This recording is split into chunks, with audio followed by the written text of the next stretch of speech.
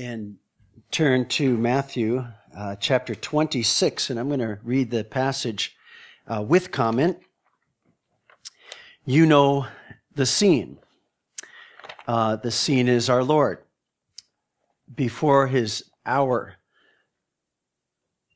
and in his hour of trial and temptation and nearing crucifixion. Uh, the scene is that of Gethsemane, the place where they had often resorted, a place that was familiar to the disciples, a place that uh, Judas apparently knew and knew where to find him. And before that finding, there is this time of praying, Matthew 26, 36 to 46.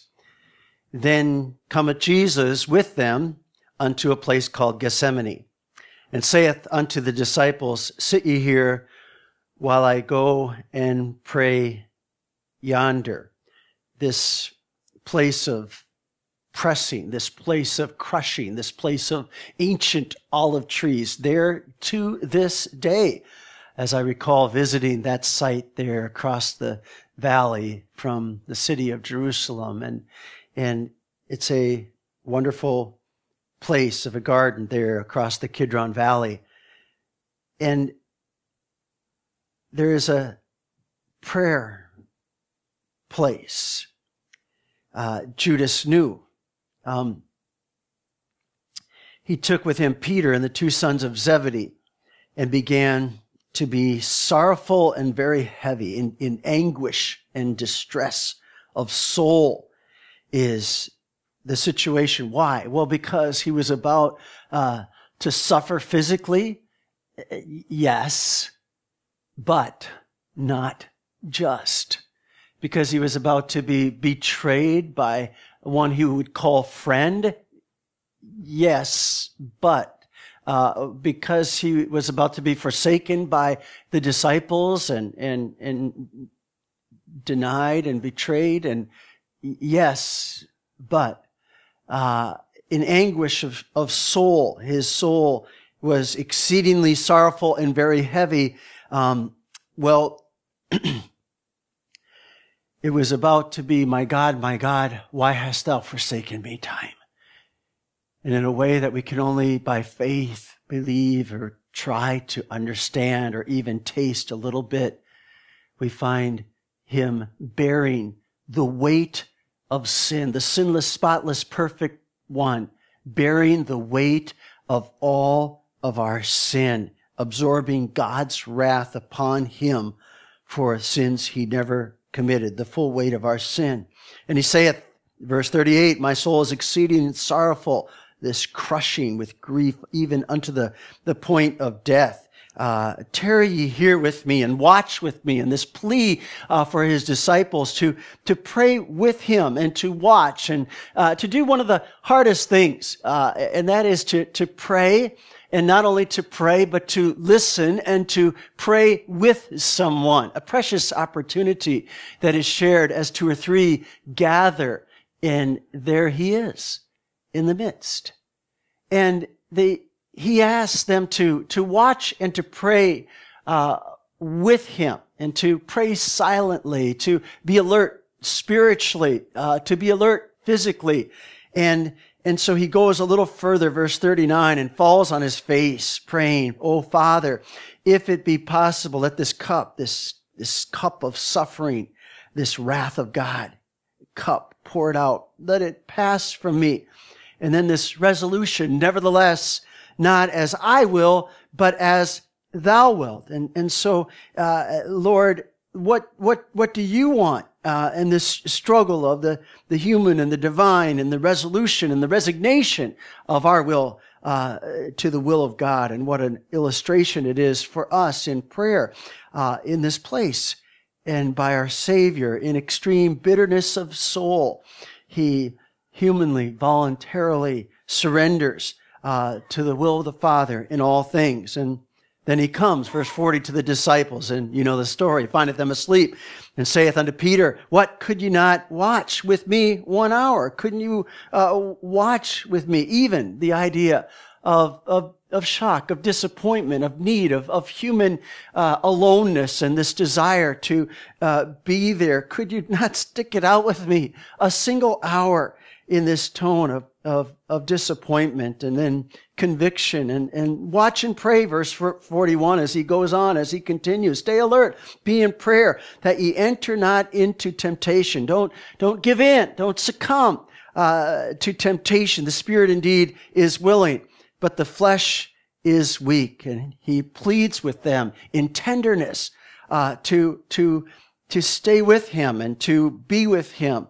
Uh, this opportunity to pray there and, and to succumb not to the human passions of even the trial of, of, of sleep there, not sinful in itself, but at this hour and at this time, something that he wanted them to avoid. And this drowsiness and all kinds of temptation would soon be faced by even these very ones who forsook and fled and, and, and could they not be with him in the prayerful, I call it the prayer preparation, the preparation. Uh, are you prepared for what will happen soon? Are you prepared, prayer prepared for what will happen next? And that's the only way to be prepared is to be filled up with prayer. Essential because God's strength is stored and, and, and the defenses and the, and the opportunity to defeat all the powers of darkness. Could you not pray with me enter not into temptation. Uh, watch and pray. The spirit indeed is willing, but the flesh is weak. And you know the story. He goes on again the second time and prayed, Oh, my father, if this cup may not pass uh, from me except I drink it, thy will be done. And he is resigning to this cup that must must be drunk. And, and he comes then, verse 43, and found them asleep again. Their eyes were heavy, and, and he, he, he lets them sleep on now, uh, verse 44, and, and, and he prayed a third time saying the, the same words in agonizing prayer. And he, he comes to the disciples again, finds them sleeping. Take your rest, and the hour is at hand. The Son of Man is betrayed unto the hands of sinners. Rise, let us be going. He is at hand that doth betray me. The, the betrayer is, is here. Let's pray together before we look at some very practical admonitions and timely uh, for our church family and body together. Father, we thank you, Lord, for the preparation, Lord, of prayer in the garden.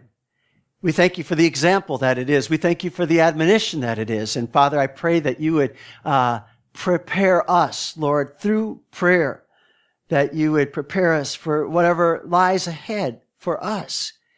And we thank you for this opportunity. Help us to heed the admonition of you in the garden, dear Lord Jesus, to watch and pray that we enter not into temptation. Uh, help us, Lord, to heed the invitation uh, to, to come and to pray with you, to pray to you, to be with you. And so we thank you for the opportunity we share now. In Jesus' name we pray. Amen.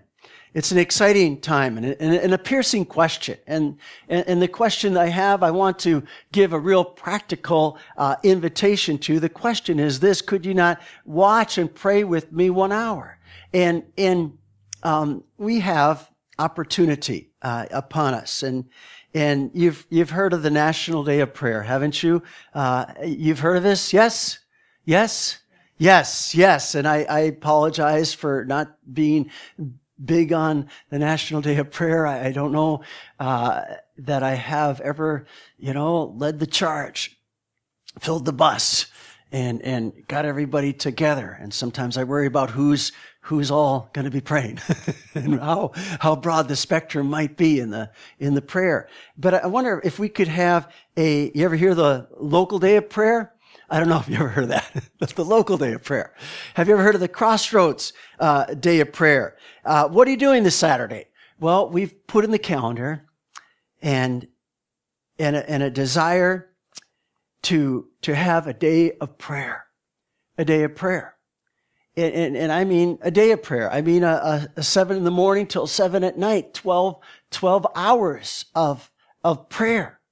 And, and I, I wonder what we'll be praying for in those 12 hours.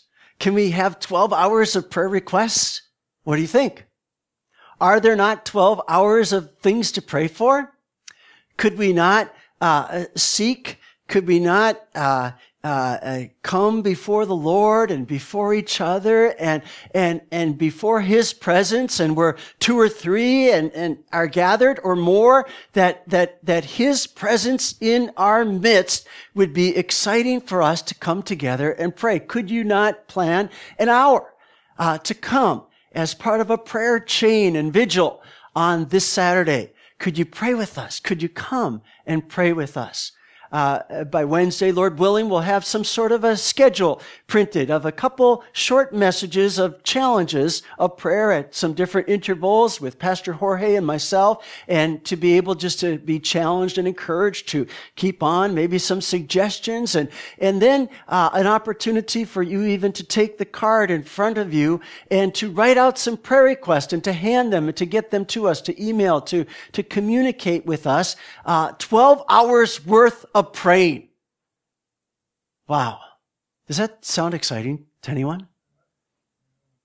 To seek God, to seek His direction for our lives, for our church, to seek His power, to seek His strength, to, to, to not know or to know what is ahead of us and to surrender uh, to the will of the Father and to, to give the, the biggest battle in all of, of life and, and, and history, uh, Jesus Christ at the cross, over uh, in this wonderful hour, precious, powerful, uh, passionate, this hour of sweating, uh, uh, this hour of trial, this hour where then angels came and ministered to him where the disciples didn't. Um, and, and, and, could we not pray together? Could we not receive a call uh, to pray together? Um, I wonder what it would take to, you know, invite you. What does it take to get you to pray? Hmm. Hmm. What might have kept the disciples uh, and us, if you will, awake? And can we draw from this passage? I had an interesting opportunity this past week. I was prayed to pay.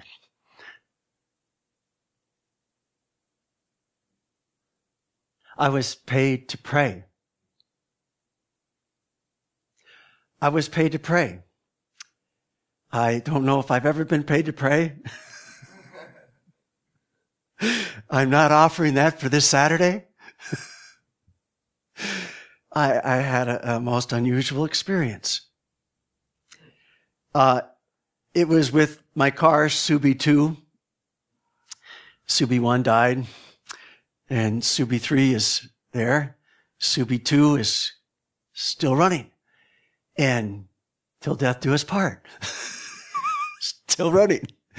And, and so Subi 2 just needed some brakes. And I got the eternal brakes at AutoZone where you buy some $20 brake pads and they guarantee them for life. And oh, are they sad. oh, are they sad because I have seen them at regular intervals because that South 4th Street Hill just kind of kills my brakes and everything else I do with those brakes. And so, so I have done a few things in my mechanical uh, inexperience, being a jack of uh, some trades and a pastor of one. Okay, uh, I have been able to successfully uh, uh, stop the car and change some brake pads. One time I forgot to do one thing and rolled out of my driveway into East Rock Road, not South 4th Street, and it didn't stop. The pedal went just all the way down to the floor and I forgot to pump the brakes after you do the brakes. And that's an important thing. And, and, and so I, I have succeeded in the past, but my mechanic is very leery of me doing anything to my car. And he says, he says, you gotta, uh, you gotta, you gotta have me do the brakes. You gotta, you gotta come down here. And, and he invited me to just use his shop. And then if I got in trouble and I had some brakes and some adjustments and some other things that were needed on the car. And, and so, uh, he invited me to come, and if I got in trouble, he would bail me out. And I thought, well, that's a much better place of doing this because the lift and such and tools and the resource of the professional. I thought, yes. And then as the time got closer and the parts were purchased from AutoZone for the re- placement and return free brakes. And then I thought I might as well splurge and get rotors. And, and so, uh, we, we got all that together. And so now we came to the date and he says to me, he says to me, the cook must stay in the kitchen, not be on the front lines. And I don't know what exactly that meant. Uh, the cook must stay in the kitchen, not be on the front lines. Because I don't know who he was referring to. But somehow in his mind, he did not want me to touch those brakes. He wanted to be on the front lines of the brakes. But the sort of that statement, uh, the cook must be in the kitchen and the soldier must be on the front lines, he asked me to go into his office and pray. And I thought, well, that's a strange request. And he was going to um, do all the work and brakes and oil change and clutch adjustment and stuff like this while I prayed. And, and so I, I thought it really strange. God didn't. And so into his office I went. And it does say office on the door. Office. The office is storage for all the oils and the parts and the grease and the this and the that. The office was totally cluttered with stuff and there was one chair in the office filled with stuff on the chair. One chair. And, and, and so it, it smelled in there and, and it was labeled office. That's the only thing that resembled office, uh, in this shop.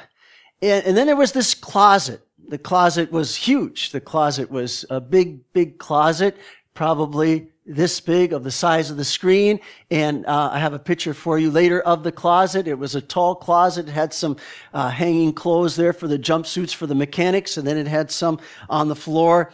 And and and I got in there. I just I just went in there into the office, and then I thought, enter into the closet. And this closet was big enough for me to just kind of like get in. And so I got in. Put some clothes down for my knees there to be padded and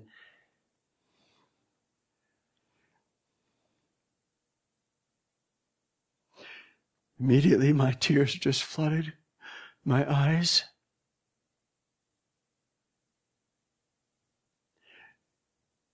But I began to pray and thank God for yanking me from this busy, crazy life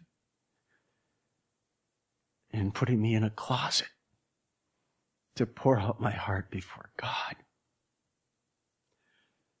And God met with me there. I don't know exactly how long I prayed. I prayed for the shop. I prayed for the workers. I prayed for the worker's family. I prayed for his wife. I prayed for his son. I prayed for the bills. I prayed for this. I prayed for that. I prayed for the brakes. I prayed for everything related to that shop because he told me to pray. And he was, he, I, he was paying me to pray. He was not going to charge me for the work. I was praying. He was paying. And, and so, so I prayed. And then I, then, then five minutes later, I said, okay, now what? and the Lord brought what? Amen? The Lord brought what to pray for? In an hour plus later, he walked in and I could sense his presence and then he walked out. He didn't see me because I was in the closet. and I was hoping for an interruption. So I prayed another 20 minutes and then I thought, I gotta get going. I don't know how long the repair took. Uh, he didn't think I was in the office and, and I came out and we just shared a special time as brother to brother together of this scene. And we have planned a time of prayer. What are we going to pray for for 12 hours? God knows. God knows. And he's, he's able to, to show us. And we'll have plenty of suggestions and lists of members and attenders and events and calendars and opportunities and local and national and, and, and situations uh, near and far. Plenty to pray about for the lost souls of mankind. Uh, plenty to pray about of the growth and the spiritual and the personal and, and, and, the struggle that is even painted in the humanity of Christ between uh, uh, the flesh and the spirit and the temptation and the opportunity to seek and do the will of God and the opportunity to surrender not my will, but thy will be done. Do we have plenty to pray for? Could we fill up uh, 24 hours? Could we fill up 12? Could we pray? Could you not pray one hour? and, and what might keep us or keep the disciples uh, awake and and present, active, and and participant in, in in a special prayer time. What might what might draw you even to the crossroads to, to pray with us. And I just would like to simply, and I mean simply, go through this passage of scripture uh, as to the when of prayer. Uh, uh, to the when of prayer. Uh, could you not pray with me? These disciples needed to know what time it was. It was a, a special time, not physically, what time is it? 7 a.m. till 7 p.m. Uh, what time is it spiritually? Spiritually. This was the pressing time. This was the passion time. This was the culmination time. This was a precious time in history. What time is it? What time is it? Well, we can look at a watch, but I mean, what time is it spiritually? And to my mind comes Romans chapter 13, where it says in the last few verses, verse 11 and following, and it's, it says it 2,000 years ago, uh, Paul says to the Romans, and that knowing the time, that now it is high time to awake out of our sleep, for now is our salvation nearer than when we believe. The night is far spent. The day is at hand. Let us therefore cast off the works of darkness and let us put on the armor of light. Let us walk honestly as in the day, not in rioting or drunkenness, not in chambering or wantonness, not in strife and envy, but put ye on the Lord Jesus Christ and make no provision for the flesh to fulfill their lust thereof. What, what time is it? What time is it? It's time to uh, uh, watch and pray that we enter not into temptation. It's time to put the armor on. It's time to realize that now is our salvation nearer than when we first believed. Do you believe that? That we are one day closer to being with Jesus Christ again.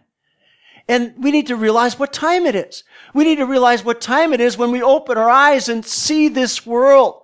And if you haven't noticed, it is on a freight train express before our very eyes toward the end time events. A freight train express before our very eyes, if you will, on our watch. We are watching the moral demise of a nation and world on our watch. If you haven't noticed what time it is. And, and and sadly, the church of Jesus Christ is by and large asleep. By and large asleep. On our watch. Could you not watch and pray? Watch and pray that you enter not into temptation. And our spirit is willing and we say, Lord, I want to, I want to hear you. I, I want to, uh, but the flesh, oh wow, the flesh is weak. The flesh is weak know the when of prayer. Secondly, I'd like you to think about uh, the who of prayer. And oh, if the disciples only uh, really, really knew the who of who they were praying with, that they were praying with and, and to, the, the Lord Jesus Christ, God incarnate, and, and He's the one who said, where two or three are gathered, there am I in the midst. You say, who's going to show up? Who's going to show up? Jesus. Who's going to be there on Saturday? Jesus. Would you come? Would you come and pray with us? Would you come and pray with Him? And, and, and we should be so uh, cognizant of the who is asking. Uh, and, and I don't mean to um, somehow yank this out of a context in any such way. Uh, but but in a wonderful way, Jesus said where two or three are gathered, and then he takes the three uh, sons and he brings them to a wonderful expression of the very phrase that he spoke just earlier in Matthew, where two or three are gathered, there am I in the midst. That's back in Matthew 18, uh, in verse 20. And he brings this two or three together, and there he is in the midst, and they're sleeping. Wow. What might keep us awake if we just were overwhelmed with who we are praying to? And sometimes I wonder, you know, now I lay me down to sleep, pray the Lord, bless me. amen and bless this food, please, eh, before it gets cold. Let's pray real quick.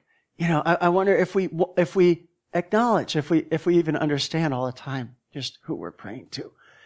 And prayer and the house of prayer and the place of prayer and, and, and the who of prayer, you know, can become so, so, uh, trite and, and, and we needed to be reminded. They, if they, if they could have any time pass. Think of Peter, you know, you know, Peter, you know, uh, uh, open mouth, insert foot Peter, okay, uh, impulsive. And if he could rewind his tape, if he could rewind his life, I wonder what would rise to the top of, of the different scenes that he would like to rewind. Would it, would it be, uh, the denial time? Would it, would it be, would it be the time of, uh, uh, of, of, you know, sinking in the water time? Would it be the time of you know, calling down thunder upon others and, and, lightning and the judgment of God? Would it, would it be, what, what time would he like to recall and redo? And like, like him, like us, probably many times, but I would think rising to the top of that would be this sleepy time. This time that he fell asleep, not remembering who was with him. I forgot who was with me one time at a stoplight. I was tired. I was at the diner and, and the sun was set quite a while and we were talking and one had to go to Bethlehem and one had to go to Allentown and the one by miracle of God is still here. Dave Zinni and I volunteered to take the close one home and someone else took the Bethlehem one home, Paul Sigmund. And, and so I, I knew I was really tired. I didn't really know how tired. And, and so, uh, I went from the diner to Allentown and at the stoplight there by Good Shepherd Home, uh, I, I know I stopped. I don't know what happened then. I know the next thing was this loud boom and crash, and I was in the middle of the intersection. I, I was awake then. I, I had no idea what happened. So I asked Dave, who was next to me, what happened? He said, I don't know. He was texting as a passenger. Should never be, Dave. you shouldn't text while you passage because you have to, you have to be awake and alert. You know, could you not, could you not drive with me one little trip and uh, watch and, and, and be alert so you know if the light was green or not because that became the important question to the policeman was the light green? And that became the important question to the insurance man. And that became an important question to PennDOT of whether the points were beyond. And I had to say, I don't know. I didn't say I went to sleep. I didn't know that I went to sleep. It's just that I don't remember anything. I just remember the light being red and I stopped and I didn't remember the light turning green. I tried to say that all my life all my life I would go when lights turn green, but I didn't remember that light. I didn't remember that time. And I, I truly believe that I fell asleep at the wheel. And I, I forgot who I was with because the accident was on Dave's side. could, could we not forget who? Could we not, thirdly, um, you know, when we think about staying awake, staying alert, could we, could we know the where of prayer? Uh, this is a, a, a, special place. It's a place called uh, Gethsemane. It's a, it's a wonderful place.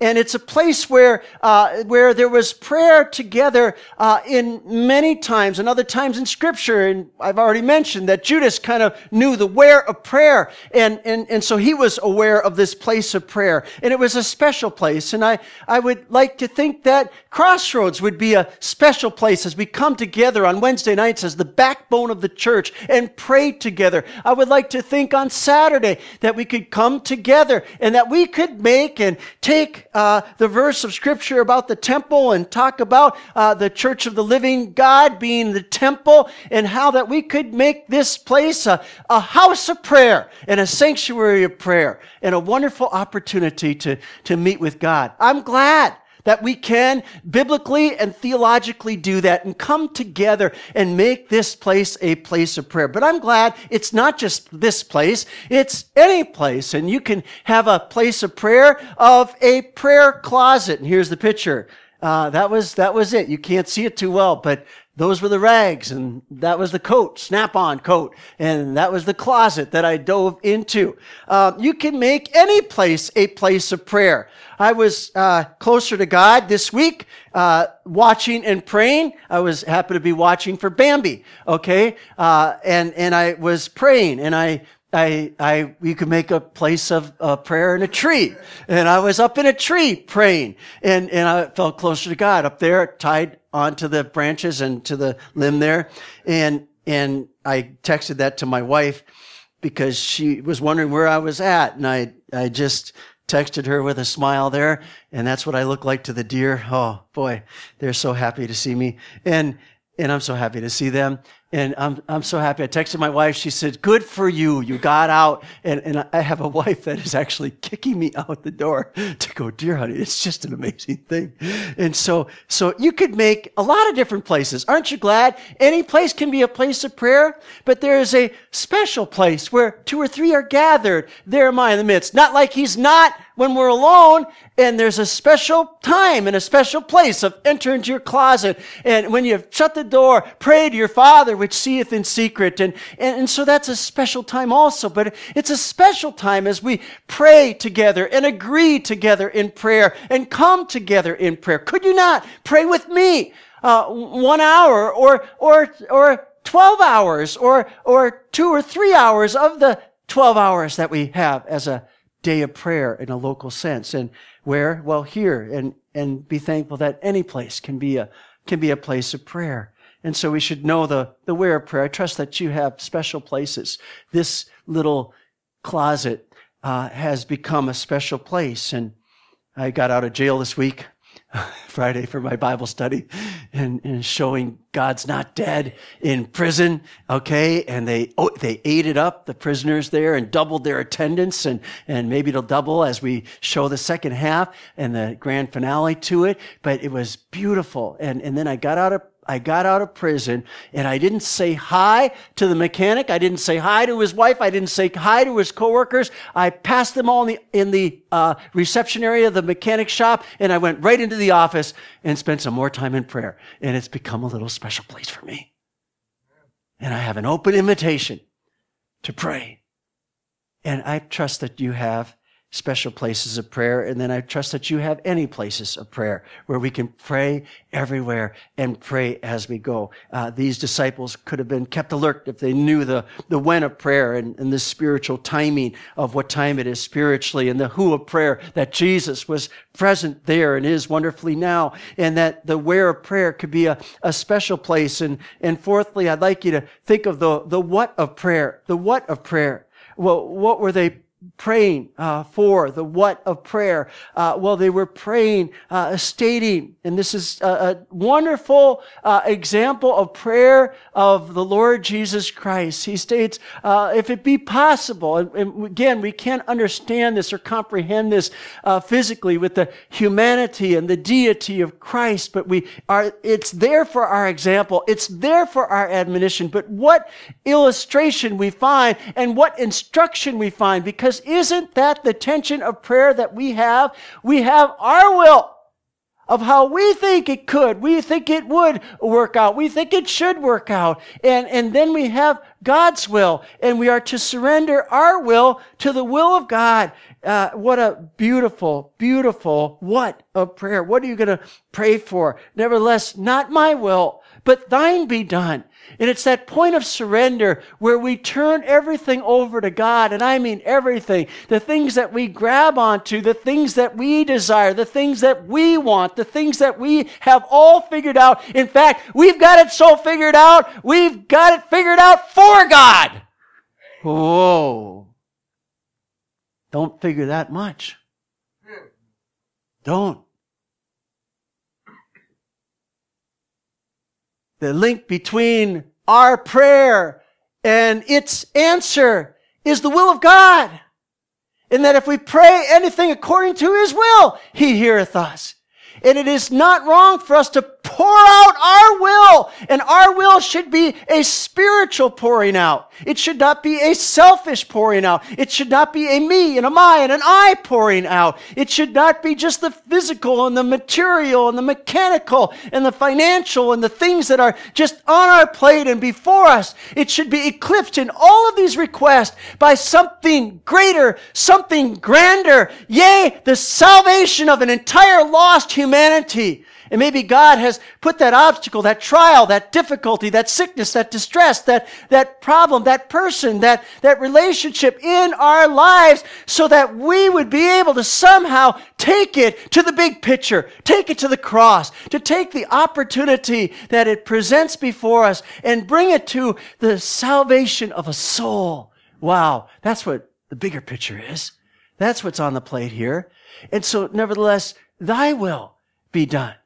And God, I'll, I'll, take a, I'll take a broken down car if I can share a time with the mechanic. I, will take a, an opportunity of a detour if I can meet somebody else, somebody new, somebody different for the glory of God. And, and I can surrender my will to thy will be done. And we can take it in a church way. We could say, Lord, we've got an agenda. We've got a plan. We've got this. We've got that. And we want to spiritualize it and tack a few verses on it and put even a great commission to it.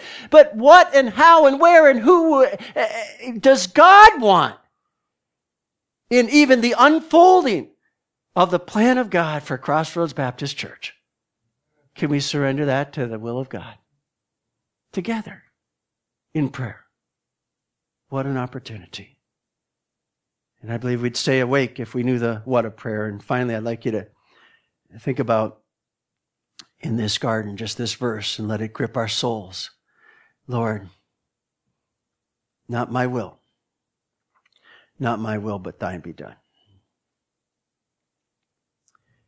And truly surrender even our will for a certain situation knowing that God's plan and God's will is what's most important. Lastly, I'd like you to think of the, the why of prayer. The why of prayer. The why of prayer is given here, and certainly there are many uh, reasons for prayer, and we could do a whole Bible study, but from this text, I like it just to have jump out at you the phrase of watch and pray that ye enter not into temptation. The spirit indeed is willing, but the flesh is weak. Why? Because there is, in a wonderful way, between the word of God and prayer, a temptation free zone. wow. I like that spot. I'll take that spot. A place of, of soul rest, a place of quietness, a place of beauty, a place of purity, a place of God's presence. As we allow our heart and our life to be saturated by the word of God and prayer. And in the hour of temptation, we are able to have a victoriousness over the coming temptation and to not succumb to it and the temptation to run and to flee, the temptation to deny, the temptation to, to betray, the temptation uh, to give up, to quit. The temptations were all there in front of these disciples and oh, how they needed this sweet hour of prayer with the Lord. But could you not pray with me? One hour, watch and pray that ye enter not into temptation. The spirit indeed is willing, but the flesh is weak. And oh, how we need strength to go on and strength to get up and strength to go forward for the Lord Jesus Christ. And it's found on our knees in prayer. Could you not pray with me? One hour, says our Lord.